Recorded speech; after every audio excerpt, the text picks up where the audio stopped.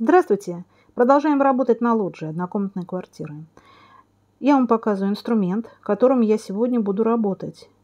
Это шпателя, гладилки, кельмы, эм, круглый шпатель для набрасывания раствора на стену. Вот я его сейчас беру в руку.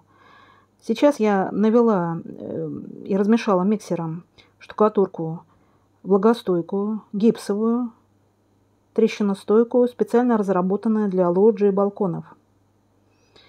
Наношу ее полукруглым шпателем для набрасывания с ведра, а излишки снимаю правилом. Здесь хорошо встает э, правило стандартное, метровое.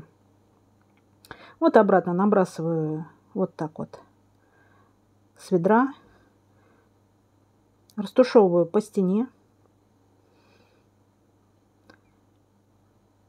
Это гипсовая штукатурка, не цементная, но она предназначена для влажных помещений. Ее эм, влажностная характеристика на 15% повышенная относительно обычных гипсовых штукатурок. Рекомендована для санузлов, террас, цоколей, балконов и лоджий. Ну, чем я и воспользовалась. Так, теперь для углов, ребята, я вам говорила, что я использую кельму штукатура. Очень удобно подлезать вот э, где углы. Нанесла и излишки опять снимаю правилом.